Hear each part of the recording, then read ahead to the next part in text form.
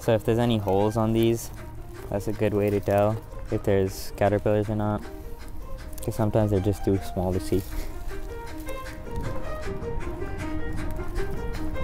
I really like the research project that I do here because it's hands-on. I think being hands-on is a lot of fun in research and getting to actually work with insects feels like you're out adventuring and doing something and exploring and finding out what's going on in the real world.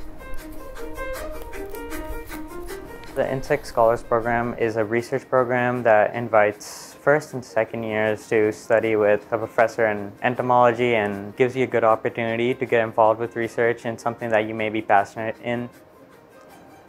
I wasn't that big on bugs, but I mean, I was big on research and I was really excited to be able to work with a professor at UC Davis and get involved with research.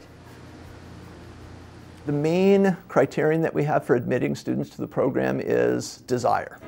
You know, these are students who are really, really excited about a career in research. That's really the key ingredient for success in the program is that they're excited about it. What's nice about this program is you get students in very early and you get, therefore, a long relationship with that student and you can really see the students progress. Our lab mainly looks at monarch butterflies, butterflies of all sorts. As of right now, I'm helping a grad student with a project on silvery blues, we're looking at a few factors like their emergence and how that's affected by temperature, light, and humidity.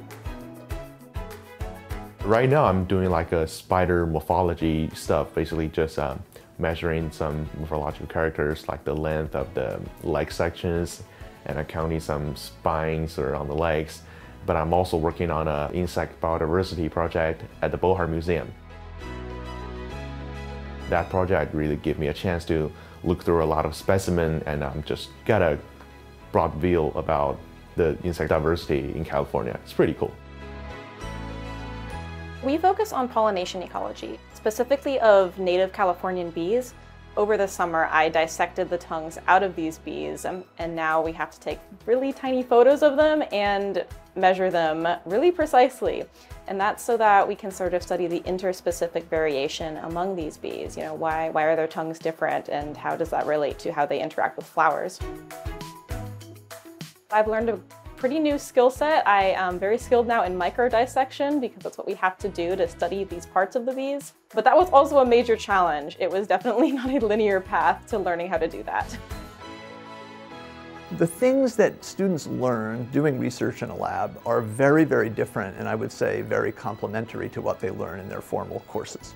There's a whole array of skills that you need when you're doing research that you simply don't need to you know, sit in a classroom and take notes and, and do well on an exam.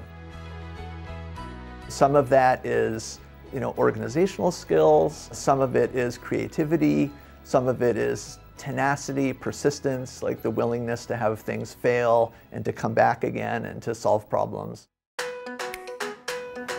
Getting to make your own projects, just analyzing higher level of work.